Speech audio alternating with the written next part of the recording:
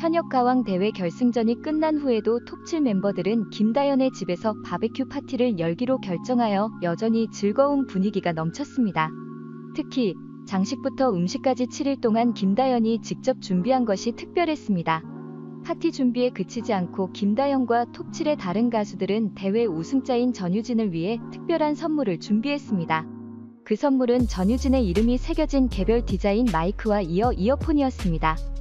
김다연은 마이크와 이어폰을 전유진의 손에 건네며 이 마이크와 이어폰으로 일본 가수와의 경기에서 승리하세요라고 말했습니다. 전유진은 감동을 받아 감정을 감추지 못했으며 김다연과 톱7 멤버들이 자신에게 보내는 애정의 감사의 말을 전했습니다. 그녀는 김다연의 신뢰와 지지를 받아 행복하게 생각했습니다. 전유진의 감동적인 연설을 듣고 나서 김다연뿐만 아니라 톱7의 모든 멤버들도 눈물을 감추지 못했습니다. 그들은 이번 파티에서의 진정성과 우정에 감동하며 기쁨을 함께 나누었습니다. 이는 전유진뿐만 아니라 모든 참여자에게 잊지 못할 추억이었습니다. 톱7의 멤버들이 함께 모여 따뜻한 분위기 속에서 BBQ 파티를 즐기면서 그들은 대회 이후의 추억, 장난, 그리고 감정을 공유합니다.